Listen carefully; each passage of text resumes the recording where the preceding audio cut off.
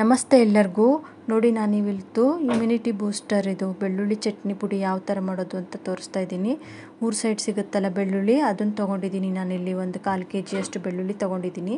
ಸಿಪ್ಪೆ ತೆಗೆದುಬಿಟ್ಟು ನೀಟಾಗಿ ಜಜ್ಜಿ ಇಟ್ಕೊಂಡಿರೋದು ಇದು. ಊರ ಸೈಡ್ ಬೆಳ್ಳುಳ್ಳಿ ಆದರೆ ಚಿಕ್ಕದಿರುತ್ತಲ್ಲ, ಸಿಪ್ಪೆ ತೆಗೆಯೋದು ಬೇಡ. ಬೆಂಗಳೂರದಾದರೆ ನೀವು ಸಿಪ್ಪೆ ತೆಗಿಬೇಕು. ನೋಡಿ, ಒಂದು ಜಾರ್ ತೊಗೊಂಡು ಮಿಕ್ಸಿ ಜಾರು. ಅದಕ್ಕೆ ಒಣಮೆಣ್ಸಿನ್ಕಾಯಿನ ಬಾಡಿಗೆ ಮೆಣಸಿನ್ಕಾಯಿ ತೊಗೊಂಡಿದ್ದೀನಿ. ಇದನ್ನು ಚೆನ್ನಾಗಿ ಹುರ್ಕೋಬೇಕು. ಈ ಥರ ನೋಡಿ ಮುರಿದ್ರೆ ಮುರಿಬೇಕು. ಆ ಥರ ನೀಟಾಗಿ ಹುರ್ಕೊಂಡಿರಬೇಕು ಇದನ್ನು ಮೀಡಿಯಮ್ ಫ್ಲೇಮಲ್ಲಿ ಹುರ್ಕೊಳ್ಳಿ ಒಣಮೆಣ್ಸಿನ್ಕಾಯಿನ. ನಾನಿಲ್ಲಿ ಒಂದು ಇಪ್ಪತ್ತು ಒಣಮೆಣ್ಸಿನ್ಕಾಯಿ ತೊಗೊಂಡಿದ್ದೀನಿ ಇಲ್ಲಿ. ನೋಡಿ ಎಷ್ಟು ಚೆನ್ನಾಗಿ ಮುರಿತಾ ಇದೆ. ಈ ಥರ ನೀಟಾಗಿ ಮುರಿಯೋ ಥರ ಮಾಡ್ಕೋಬೇಕು. ಇಷ್ಟು ಹಾಕಲ್ಲ ನಾನು. ಇದು ಬೇರೆ ಚಟ್ನಿ ಪುಡಿಗೆಲ್ಲ ಹುರಿದಿಟ್ಕೊಂಡಿರೋದು. ಇದರಲ್ಲಿ ಒಂದು ಹತ್ತರಿಂದ ಹದಿನೈದು ಒಣಮೆಣ್ಸಿನ್ಕಾಯಿ ಹಾಕ್ತಾಯಿದ್ದೀನಿ ನಾನು ಬೆಳ್ಳುಳ್ಳಿ ಚಟ್ನಿಗೆ. ನಿಮಗೆ ಖಾರ ಎಷ್ಟು ಬೇಕೋ ಅಷ್ಟು ನೋಡಿ ಹಾಕ್ಕೋಬೋದು. ನೋಡಿ ಇವಾಗ ಇದಕ್ಕೆ ಫಸ್ಟ್ ಇದೆರಡನ್ನೂ ಸಣ್ಣ ಮಾಡ್ಕೊಂಡ್ಬಂದು ಬಿಡಬೇಕು ಖಾರ ಪುಡಿನ ಫಸ್ಟು ಪೌಡರ್ ಮಾಡ್ಕೊಂಡಿದ್ದೀನಿ ನಾನು. ಯಾಕೆಂದರೆ ಅದು ಬೆಳ್ಳುಳ್ಳಿ ಜೊತೆಗಾದರೆ ಸರಿಗೆ ಪುಡಿ ಆಗಲ್ಲ ಖಾರ ಪುಡಿ.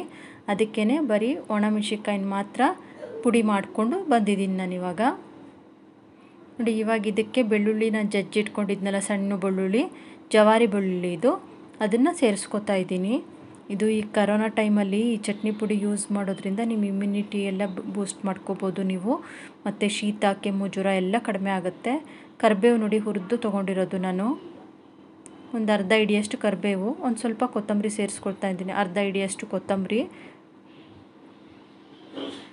ಒಂದು ಸ್ವಲ್ಪ ಬೆಲ್ಲ ಸೇರಿಸ್ಕೊತಾ ಇದ್ದೀನಿ ನಾನು ಇದಕ್ಕೆ. ಯಾಕೆಂದರೆ ಮೆಣಸಿನ್ಕಾಯಿ ಹಾಕಿರ್ತೀವಲ್ಲ, ಸ್ವಲ್ಪ ಖಾರ ಬರುತ್ತೆ. ಬೆಲ್ಲ ಹಾಕೋದ್ರಿಂದ ಟೇಸ್ಟ್ ಚೆನ್ನಾಗಿ ಬರುತ್ತೆ ಚಟ್ನಿ ಪುಡಿದು. ಒಂದಿಷ್ಟು, ಒಂದು ಸ್ಪೂನ್ ಅಷ್ಟಿದೆ ಅಷ್ಟೇ ಇದು ಬೆಲ್ಲ. ಅದನ್ನು ಸೇರಿಸ್ಕೊಳ್ಳಿ ಇದಕ್ಕೆ. ಉಪ್ಪು ರುಚಿಗೆ ಎಷ್ಟು ಬೇಕೋ ಅಷ್ಟು ನೋಡಿ ಹಾಕ್ಕೊಳ್ಳಿ. ನಾನಿಲ್ಲಿ ಅರ್ಧ ಸ್ಪೂನಷ್ಟು ಉಪ್ಪು ಸೇರಿಸ್ಕೊಂಡಿದ್ದೀನಿ. ಒಂದು ಸ್ವಲ್ಪ ಜೀರಿಗೆ. ಇದು ಕ್ಯಾನ್ಸರ್ಗೂ ತುಂಬ ಒಳ್ಳೆಯದು ಬೆಳ್ಳುಳ್ಳಿ ಚಟ್ನಿ. ನೀವು ಇದನ್ನು ಡೈಲಿ ಅನ್ನದ ಜೊತೆ, ಚಪಾತಿ ಜೊತೆ, ರೊಟ್ಟಿ ಜೊತೆ ಎಲ್ಲ ಸೈಡ್ ಡಿಶ್ ಆಗಿ ಯೂಸ್ ಮಾಡ್ಬೋದು.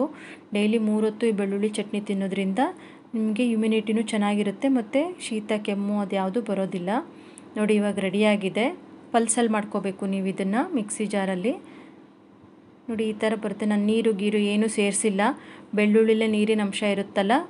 ಅದರಿಂದ ಈ ಥರ ಸ್ವಲ್ಪ ನೀರು ನೀರು ಥರ ಆಗುತ್ತೆ ಅಷ್ಟೇ ಚಟ್ನಿ ಇದು. ನೋಡಿ ಇದು ಇವಾಗ ರೆಡಿಯಾಗಿದೆ ಇದು ಪುಡಿ ಥರ ಆಗಲ್ಲ.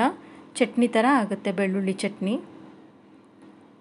ನೋಡಿ, ಇಷ್ಟು ಚಟ್ನಿ ರೆಡಿಯಾಗಿದೆ ನನಗೆ ಈ ವಿಡಿಯೋನ ಲೈಕ್ ಮಾಡಿ, ಶೇರ್ ಮಾಡಿ, ಮತ್ತು ನೀವಿನ್ನೂ ನಮ್ಮ ಚಾನಲ್ಗೆ ಸಬ್ಸ್ಕ್ರೈಬ್ ಆಗಿಲ್ಲ ಅಂದರೆ ಸಬ್ಸ್ಕ್ರೈಬ್ ಆಗಿ. ನೀವು ಈ ರೆಸಿಪಿನ ಟ್ರೈ ಮಾಡಿ ನೋಡಿ ನನಗೆ ನಿಮ್ಮ ಫೀಡ್ಬ್ಯಾಕ್ನ ಕಮೆಂಟ್ ಬಾಕ್ಸಲ್ಲಿ ಕಮೆಂಟ್ ಮಾಡಿ. Thank you